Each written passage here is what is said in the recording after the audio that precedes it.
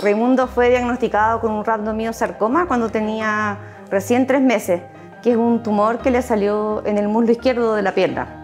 Y justamente nos tocó a nosotros como Centro del Cáncer recibirlo, hacer el diagnóstico con imágenes y después hacer la confirmación con una biopsia hasta llegar al diagnóstico.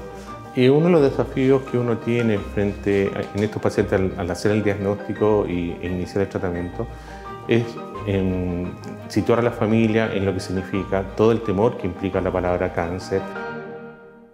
La infraestructura de la clínica me parece eh, muy bien.